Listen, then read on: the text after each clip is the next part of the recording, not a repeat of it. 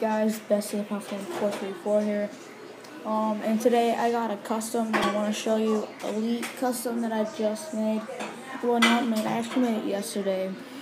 And um, I actually made a belt for it. I actually made this belt a long time ago, but like about, I don't know, a week ago. And uh, I made a week this thing a week ago. And um, well, the belt about a week ago, but the figure just made yesterday, and uh, I haven't shown the belt yet, or I haven't shown the figure yet either. So now I'm just gonna show you both. So the custom elite is someone from NXT, and it is Elite Custom Sami Zayn.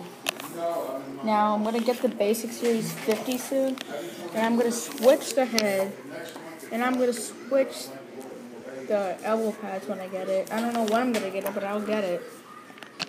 As you can see, it has a Zack Ryder head, and I'm gonna be painting the beard soon. It's just for now, because really it's not a good head for him, but yeah, you can see I messed up there. I need to repaint that. It says SZ. See here.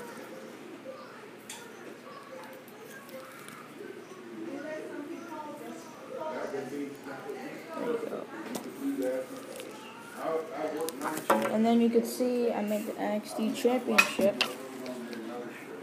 And it has Velcro, so it is, you can put it on the figures.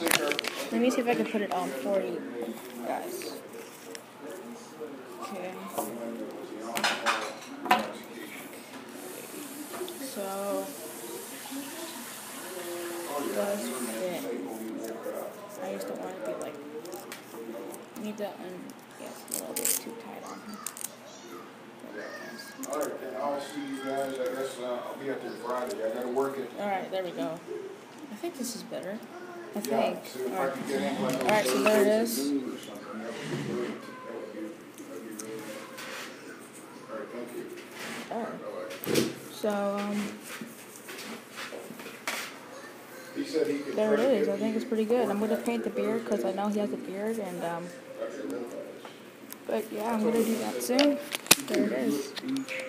Peace out, guys. Leave a like, comment, subscribe to my next video. I'm out. Peace.